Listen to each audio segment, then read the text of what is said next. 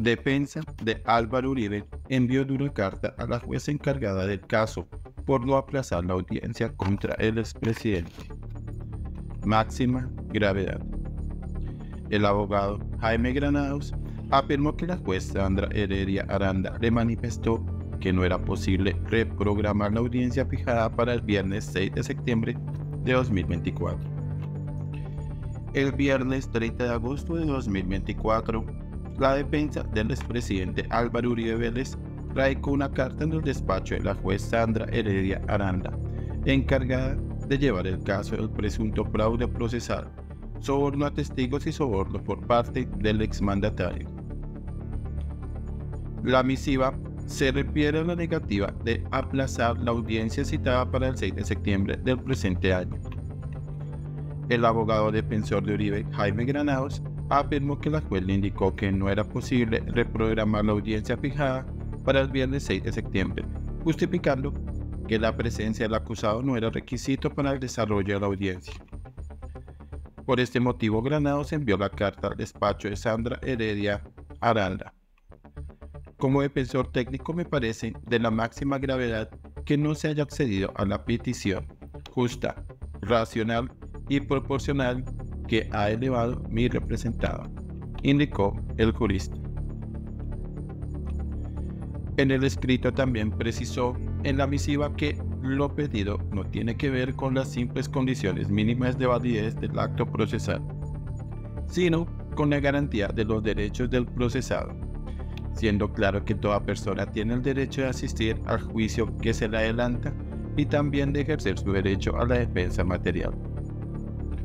Jaime Granados afirmó que el líder del Centro Democrático ha manifestado sus deseos de acudir a la audiencia y ejercer su defensa material, motivo cual el abogado penalista consideró equivocado en sostener que los derechos del procesado están plenamente garantizados con la asistencia del defensor técnico.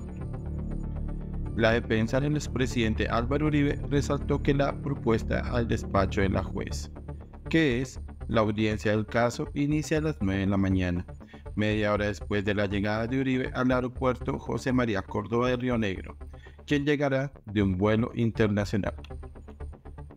Como lo expuso en su petición y como se allegó en la documentación anexa, el doctor Álvaro Uribe Vélez debe tomar un vuelo a las 0044 de la madrugada de Paraguay, con destino a Ciudad de Panamá, en donde en teoría debe llegar a las 5.58, es decir, 6 horas y 14 minutos de vuelo, indicó la misión.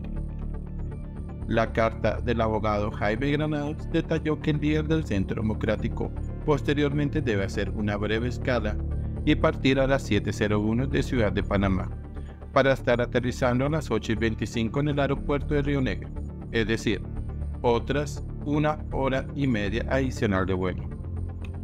En ese sentido, nos preocupa que la señora juez le parezca adecuado que el procesado, de 72 años de edad, concurra a una audiencia después de tener que tomar, desde primera hora de la madrugada, dos vuelos que suman casi 8 horas de vuelo. Por esta razón, cuestionó la decisión del despacho con todo respeto, señora juez, ello no corresponde a un tratamiento mínimamente garantista e incluso desconoce la dignidad del procesado. Me pregunto respetuosamente si la representante del ente persecutor estuviera en condiciones similares a las que plantea el procesado, ¿se le impondría participar en la audiencia así? Se lee en la misiva. El abogado penalista también propuso que la audiencia inicie el 12 de septiembre de 2024 otra fecha programada por la juez Sandra Heredia Aranda. La petición elevada por el procesado se da por una situación objetiva y no genera grave afectación al proceso, pues la audiencia preparatoria puede comenzar el día 12 de septiembre, es decir, solo seis días después, agregó la misiva.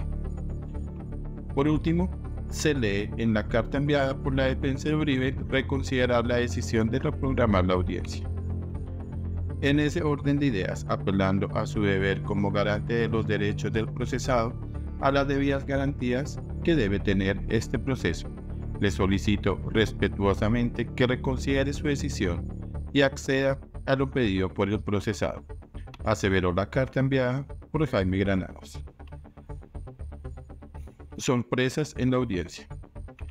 En entrevista con Semana, Jaime Granados afirmó que está evaluando qué acciones tomar frente al cúmulo de decisiones que se han presentado. Estábamos esperando que se consolidara la situación a la que se iba a presentar el expresidente de cara a las audiencias preparatorias de juicio oral. Además, recalcó al citado medio que lo sucedido con el expresidente Álvaro Uribe hasta la fecha es solo sorpresa tras sorpresa. La primera sorpresa fue que luego de haber presentado una denuncia y aportado elementos de prueba para que la Corte Suprema tomara una decisión de abrir una investigación y llamar indagatoria al senador Iván Cepeda, terminó con una compulsa de copias contra el expresidente Uribe. Y agregó, nunca se tuvo en cuenta la versión libre y para sorpresa de todos, durante cuatro meses a espaldas del expresidente se le investigó, pese a que se había pedido que se certificara qué procesos cursaban. Nos ocultaron esa información.